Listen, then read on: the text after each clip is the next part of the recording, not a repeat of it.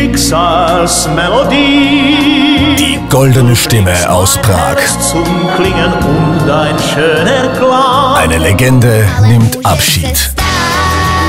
Danke Karel. Das Best-of-Album. Ab sofort im Handel.